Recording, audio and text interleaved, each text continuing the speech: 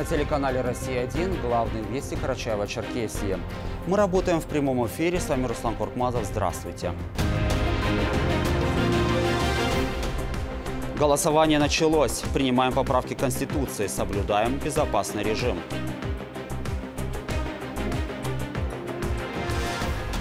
17 этажей для полицейских. Сегодня заложили первый камень одноподъездного дома. Когда ждать новоселья? Сильный ветер и град. В Кызыл-Октябре подсчитывают ущерб от стихийного бедствия и восстанавливают крыши. Полезный подарок от Алашара. Базинская общественная организация подарила еще один аппарат ИВЛ ковид-госпиталю.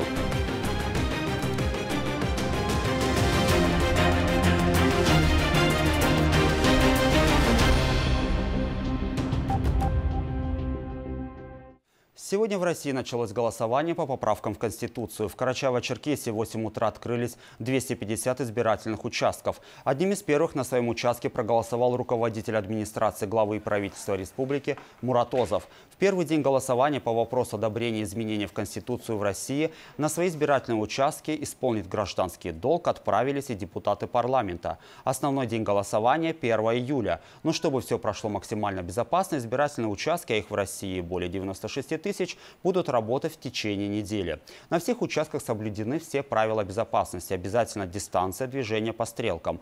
Процедура занимает много времени, поэтому пришедшим выдают маски, перчатки, ручки, измеряют температуру. В зал, где проходит голосование, пускают по одному. Спикер парламента Александр Иванов в беседе с журналистами отметил, что жизнь в стране с начала 90-х очень сильно изменилась, поэтому давно назрела необходимость внесения поправок. Я проголосовал за поправки к Конституции вместе с парламентом. Мы, можно сказать, сегодня дали старт голосованию с нашими депутатами. Считаю, что поправки нужны, так как с 90-х годов очень много изменилось, поэтому и созрела необходимость вносить изменения в Конституцию.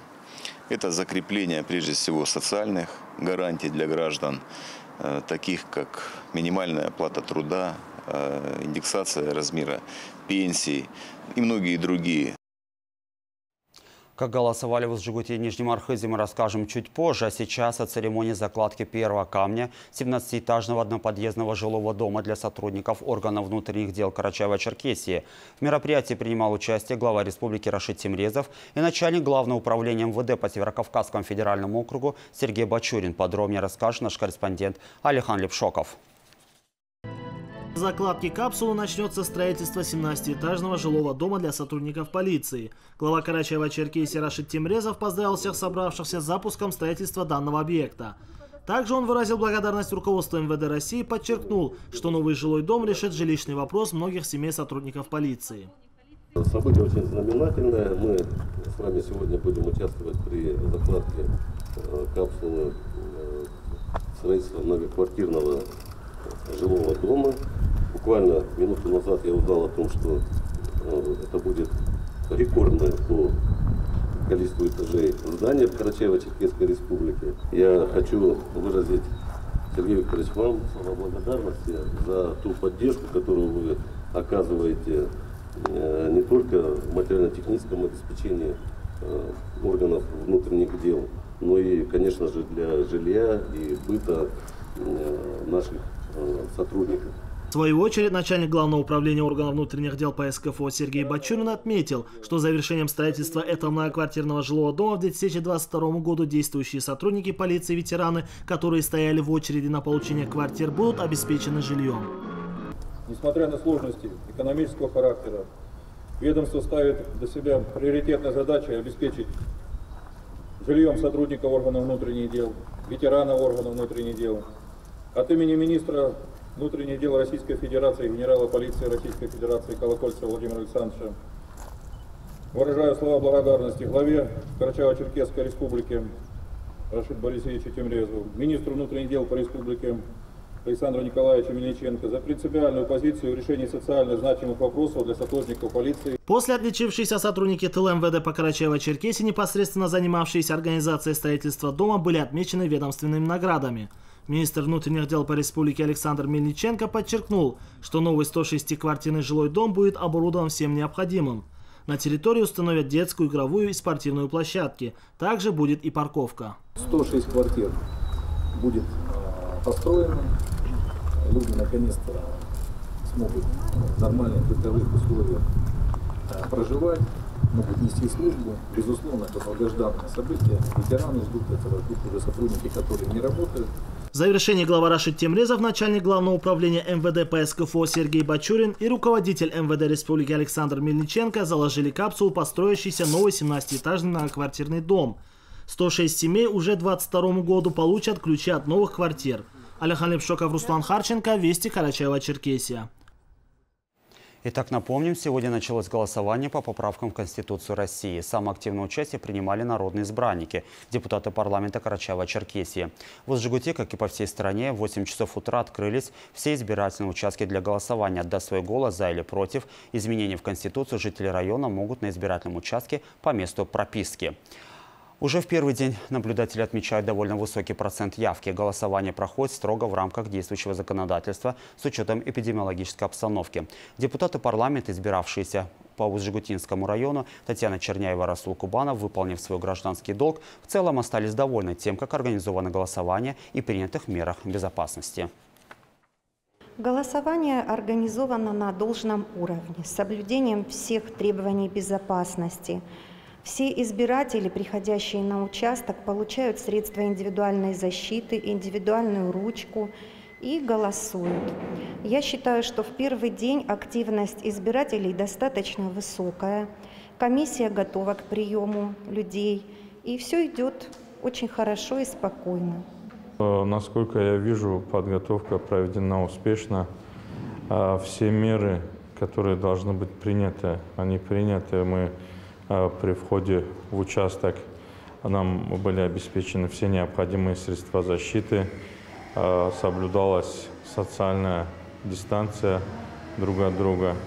А, на входе были дезинфицирующие средства, которыми можно было обработать. И в целом организация поставлена достаточно на высоком уровне. В Карачаево-Черкесии жители проявили активность на в, этих голос, в этом голосовании. Звездный городок Буково, где проникают в тайны вселенной, сегодня стал площадкой для голосования по поправкам в основной закон страны. Из Нижнего Архиза репортаж Али Боташева. Измерение температуры тепловизором, вручение маски, перчаток и ручки при входе на избирательный участок. Стандартная процедура для каждого участника общероссийского голосования по поправкам в Конституцию.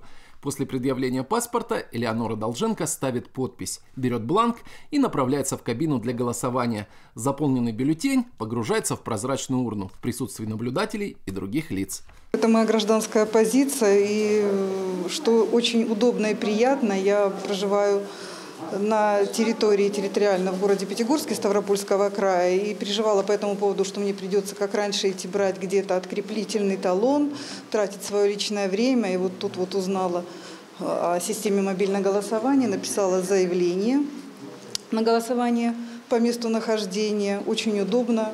Все организовано, средства индивидуальной защиты, индивидуальная ручка, дистанция связи с событиями, которые сейчас у нас есть. Вот что, конечно, я исполнила свой гражданский долг. Я считаю, что это долг каждого гражданина, потому что именно Конституция у нас формирует гражданский характер страны и помогает самоидентификации нации. Разметки на полу, отдельный вход на участок и выход, санитарная обработка помещения в течение каждого часа, дополнительные меры безопасности. Голосование будет проходить в течение 7 дней, чтобы избежать очередей, минимизировать контакты и обеспечить каждому гражданину комфортные условия для реализации своего права голоса, говорит председатель избирательного участка. У нас обеспечивается тайна голосования. Есть специальные кабинки, но в этот раз они без шторок, чтобы люди лишний раз эм, не трогали ничего руками. И каждый проголосовавший заходит в кабинку и э, опускает ящик в бюллетень, у нас два выхода, то есть вход и выход, поэтому участники голосования не сталкиваются друг с другом. Каким образом обеспечится сохранность бюллетеней? Сохранность бюллетеней обеспечивается полицией. Мы все бюллетени э, посчитали, опечатали, в сейф закрыли, и сейф у нас охраняет целых два полицейских. В поселке Нижний Архыз 477 человек. Уже сегодня на 11 утра на 123-м избирательном участке по поправкам в Конституцию проголосовало 13 граждан России. Всероссийское голосование продлится до 1 июля включительно. Участки будут открыты с 8 утра до 8 вечера. Али Баташев, Расул Бердиев, Вести Карачаева-Черкесия, Зеленчукский район. В Зеленчукском районе определяют размер ущерба после сильного града. Со слов местных жителей, накануне во второй половине дня в ауле Красный Октябрь Зеленчукского района начался град. Сильный ветер сорвал крышу сельского дома культуры. При этом никто из жителей не пострадал. Но уже последствия стихии устраняют и восстанавливают крышу дома культуры. Сильный град повредил сельскохозяйственные насаждения и повредил имущество многих аульчан. Говорят, в местной администрации размер ущерба уточняется. Ветер, потом небольшой град, потом сильный град. Ветер был такой сильный. И вот люди позвонили, говорят, то там сначала там у кого картошка, у кого капуста. Очень много людей, вот, к сожалению, пострадали. Именно вот сельхозугодие, да? Сенокосы пострадали, там кукуруза у некоторых, у некоторых вот капуста, картошка. И вот снесло а, крышу Дома культуры. Чуть-чуть повредил нам газопровод, который идет в Месеть. И Несколько домов сейчас пишут заявление в администрации. Далее мы расскажем о полезном абазинском подарке народам Карачаева-Черкесия. Сейчас прогноз погоды на завтра.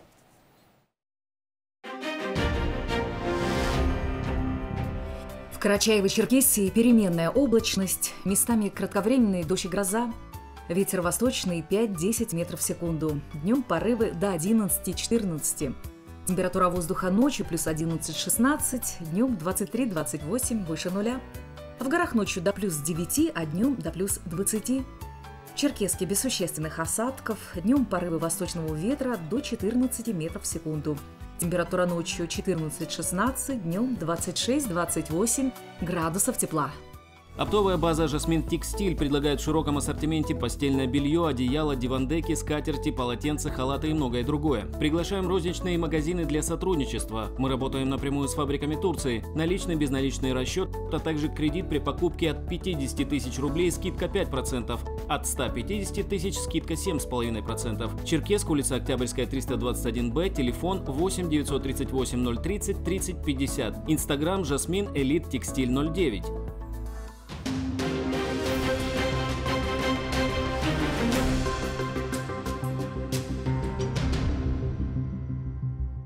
Это главные вести республики. Мы работаем в прямом эфире.